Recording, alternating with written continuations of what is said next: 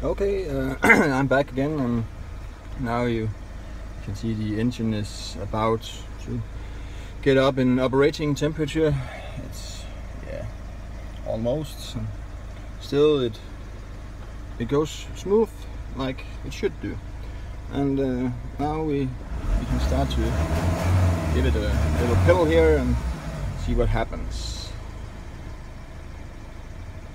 It should start to jump and oh yeah, see, this this was not as much as it can do. It will almost stumble and yeah, cut out the engine actually. Now see, I don't know if you can hear it, but it it really uh, uh, uh, uh, and this is this is what uh, I call a common problem with these uh, modern crap cars. Newer car, lots of trouble.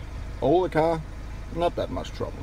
So what that tells me is uh, stay away of new cars if you can.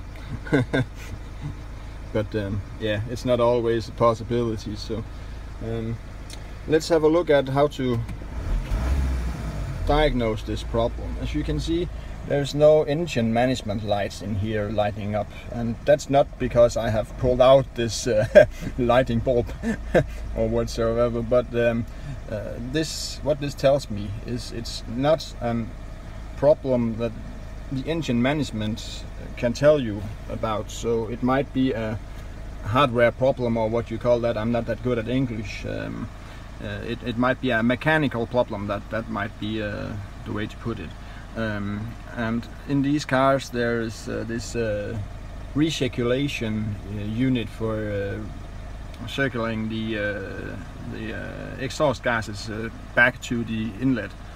Um, and what I know is this usually makes lots of trouble um, especially the ones with these um, electrical EGR valve shit that's pretty much bullshit uh, this uh, this one uh, doesn't have exactly that system and I'm not that familiar with this engine. Uh, this engine is uh, the 3.0 liter Iveco engine as I told earlier um, and I don't know that much about this engine. You see now it runs smooth again. It had been settled for this minute or something and now it runs fine. If you have a look at the at your tester. I, I use this one. Uh, this is an old Autel. Um, if you have a look at it, it will show you that the EGR percentage goes to zero uh, and no problem with the engine.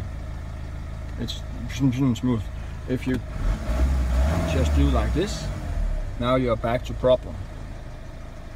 Soon it will start to rumble yeah, see, that's because the uh, engine management has uh, started to open up for this uh, this recirculation unit again.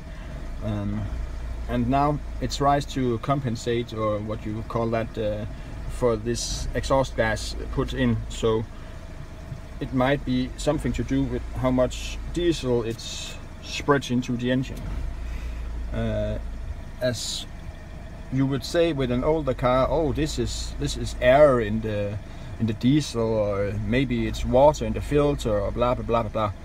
Um, it's not the case with this shit car. Um, it was also one of my thoughts first time I had a look at a car like this, uh, but soon I figured out that that's not that's not it. So let's open the lid of this shit car and have a look out there.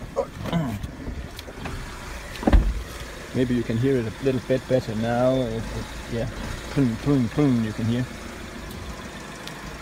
And now, remember there's there's still uh, 30 seconds or something of, uh, of active EGR valve shit. And when the, the engine management turns off this, the engine will run smooth.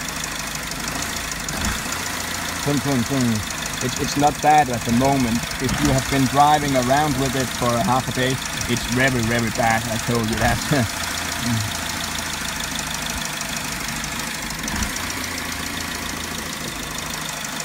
Oh shit! It starts raining in this this stupid shit country. you see, boom, boom, boom, and as it gets hotter, it gets even worse. So that's that's not not funny.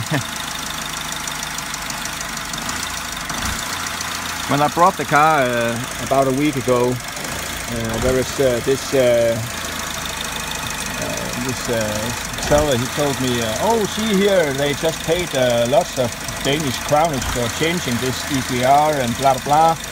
and the car has just gone through the MOT and blah blah blah blah blah. So lovely car.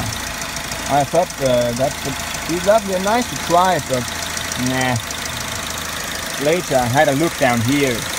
See this this one this unit here is the uh, circulation crap unit, and here it's heated up with water from the um, uh, the engine cooling uh, I don't know why this, how this system works exactly, uh, but one thing I can tell is it's bullshit. Now you see, engine management have cut this uh, this EGR shit and runs lovely. Soon as you give the car a little on the pedal, then it starts boom, boom, boom again. Um, and it doesn't come with any engine management errors or anything.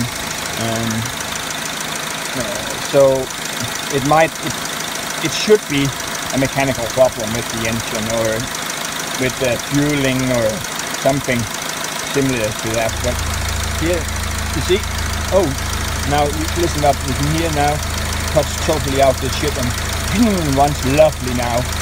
Mm, lovely. Um, here, this this one, I, I don't know what it's called. Um, it, but it, it, what it basically it does is it's it's um, magnets, electric magnets uh, that you can put power to, and then it will open for a vacuum here. You see this, this, the vacuum line here. It will open up the vacuum here for this this velvet motherfucker over here. Um, and that velvet shit is the one dealing with the uh, how much the um, exhaust gas uh, will get through and down here into the inlet again. Um, what you can do to uh, get rid of this uh, this problem for, for sure, but uh, that's not the way to fix it. Uh, I have to tell you that one. Um, but see, now we we just just try to trick it into opening this bullshit again and let's see if it will start to boom boom I think it will yeah you see classical French bullshit uh, oh I forgot about it. Sorry Viggo. Um, yeah. What we do is you see still there's no engine management lights in here. Um, now we go ahead and turn off this bullshit. And we go back here. Let's see. Oh yes. What I think is the problem and I'm not a mechanic as I told you earlier but I have pretty much experience. So um, mostly with older engines but um, this shit here hmm, it's a mechanical thing. And it's operated by this shit uh, this electrical valve motherfucker uh, which is controlled by this one the ECU um, and when this one is connected the ECU thinks oh lovely and shit uh, I can open and close and blah blah blah blah blah. but if this one over here is not entirely closed if it's stuck in open position because of lots of bullshit in there or something um, that will that will trigger the um, the engine ECU to think that, that everything is okay and do what it should do while it should actually do something else. I, I don't, I'm not good at English, so it, it's not uh, easy for me to, to uh, tell you uh, about it. But um, I think you should try to figure out if it actually is problem uh, with this uh, this velvet motherfucker. Um, is you push down this motherfucker and, uh, and take off the plug Yes, See, take it off. Just put it away and leave it there for a moment. Now, what happens is the ECU thinks, oh, this one here is not uh, communicating, blah, blah, blah, blah, blah. There's not uh, uh, any voltage uh, reference from it and it's not good as it should be. So I will omit using that circuit and run off the um, uh, basic program uh, and uh, that might actually do the trick. Let's try start up the engine again.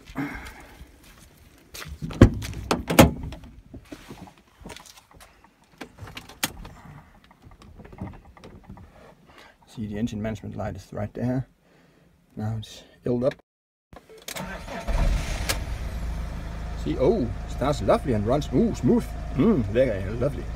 But now you see engine management light comes on and check engine, blah blah blah. Um, see, now we give it a little piddle here. Vun, vun, vun.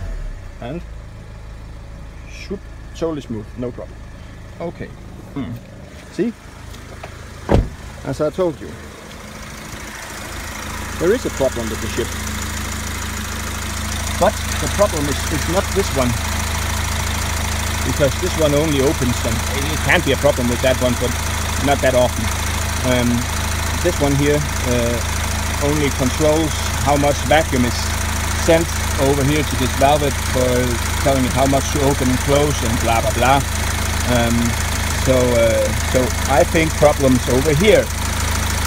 uh, and well known that you can you can see that it, it is a mechanical problem with the car. So, um,